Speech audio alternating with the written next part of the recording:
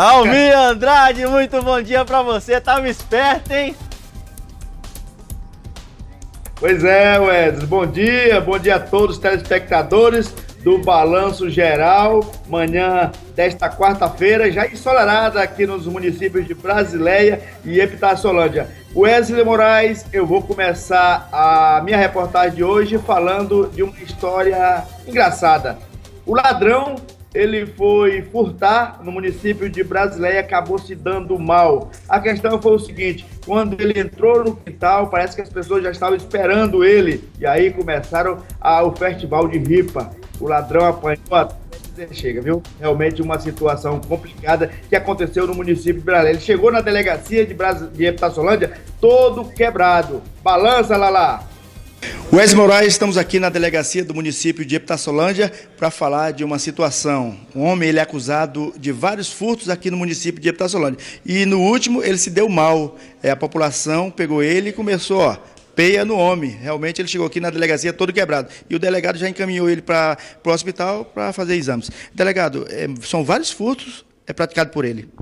É, esse indivíduo ele é o velho conhecido da polícia, tanto aqui de de Epitaçolândia quanto brasileira. Na verdade, esse fato, essa tentativa de furto dele ocorreu no município de Brasileia, quando ele estava é, no quintal de uma residência tentando arrombar a porta e populares aí a vizinhança conseguiu pegá-lo e parece que no momento ele ele quis resistir aí ele saiu é, com algumas lesões mas nós estamos encaminhando ele para o hospital para fazer exames e receber a medicação.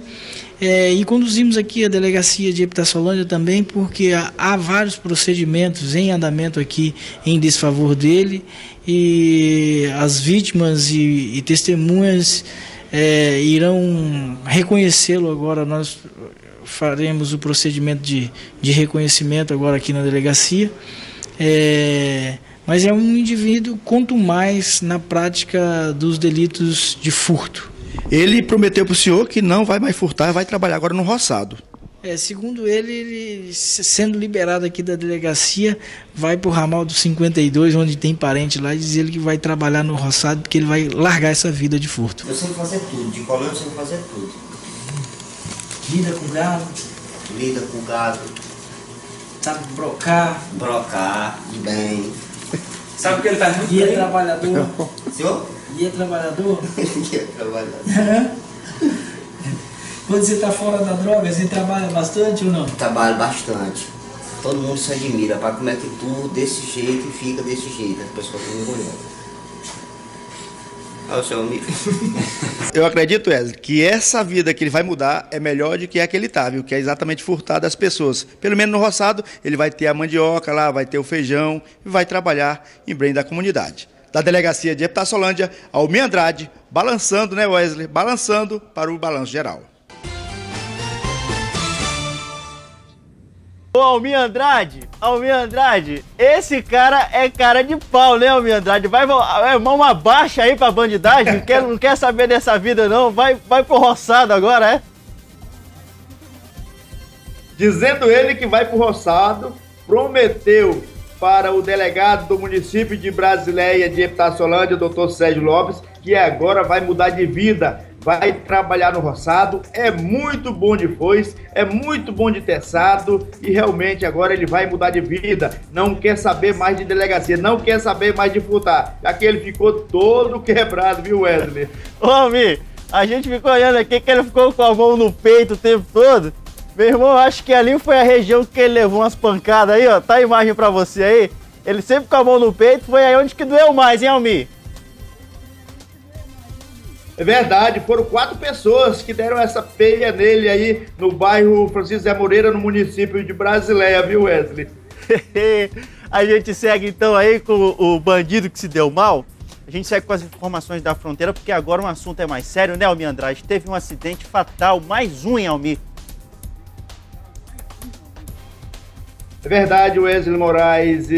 no finalzinho da tarde de ontem, aqui no município de Brasileia, na rua Olegário França, o seu Raimundo Marques de Souza, de 68 anos de idade, trafegava na sua moto quando colidiu de frente com um poste. É, realmente, ele ainda foi atendido é, no local do acidente pela SAMU do do Hospital Clínico Raimundo Chá, do município de Brasileia, mas quando chegou no hospital não resistiu aos ferimentos e acabou falecendo ainda no Hospital de Brasileia. Realmente foi um acidente muito grave que aconteceu no final da tarde de ontem. Vale ressaltar que seu Raimundo Marques foi presidente é, do bairro Samaúma, um dos bairros mais populosos do município de Brasileia, por várias vezes. Ele fazia parte aí da sociedade civil, civil organizada aqui no município de Brasília. E aconteceu aí esse acidente fatal com ele no finalzinho da tarde de ontem. Realmente é lamentável o que aconteceu. Ninguém sabe realmente o que aconteceu, porque as pessoas